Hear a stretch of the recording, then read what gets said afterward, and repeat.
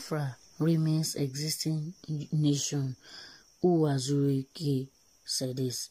The founder of Biafra independent movement and movement for the actualization of the foreign state of Biafra, uh, MASSOB, Chief Raf Aua Zuruike has declared that Biafra remains an existing nation.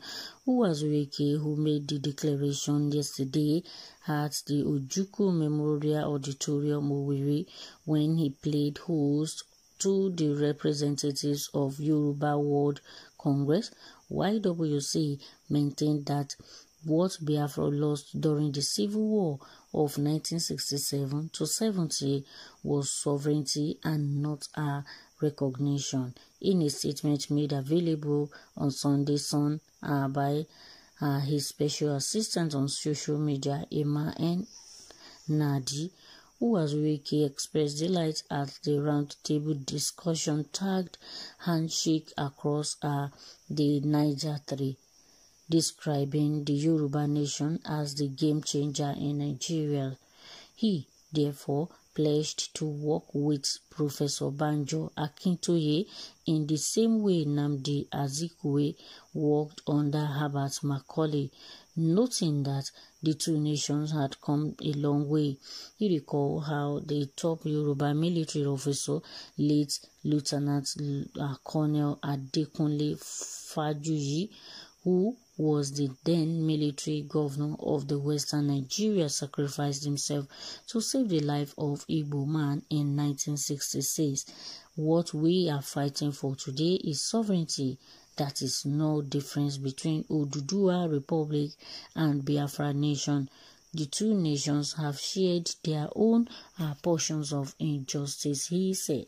According to Uwazuruike, the the amendment of June 1993 presidential election won by MKO Abiola remained the greatest injustice against the Yoruba nation. He also lamented the injustice suffered by the people of the southeast, saying only Igbo nation has five states in Nigeria, while five other zones have six states each. Professor Banjo Akintoye, the leader of Yoruba World Congress, YWC, who spoke on behalf of the Yoruba nation, said they were on the way path with the Igbo in their struggle for freedom.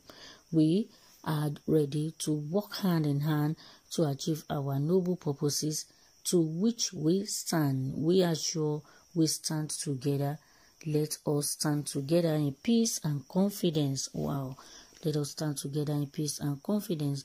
This is coming from Uwazuruike and uh, the leader of YWC Yoruba World Congress saying they have been together since uh, 1967 to 1970s.